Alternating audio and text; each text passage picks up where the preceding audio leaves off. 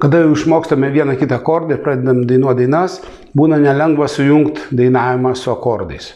Nes norisi groti iš karto gražų kažkokį efektingą ritmą, dainuoti ir tai nelabai susijungia.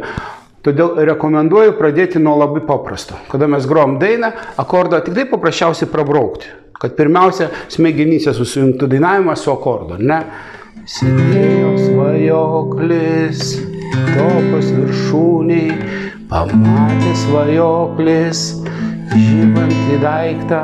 Ar ne, tai būna paprastai nesunku, jūs turit laiko perstatyti akordams, juos sujungti ir tuo pačiu pakomponuoja dainai.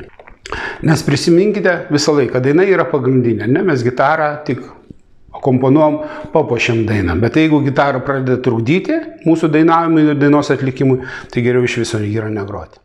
Jei dar nemokite groti gitarą ir norėtumėte išmokti ir patobulinti savo turimas žinias, apačioje matysite nuorodą, kur galite pasirinkti nuotolinius mokymus, interaktyvę knygą įsigyti arba individualias pamokas.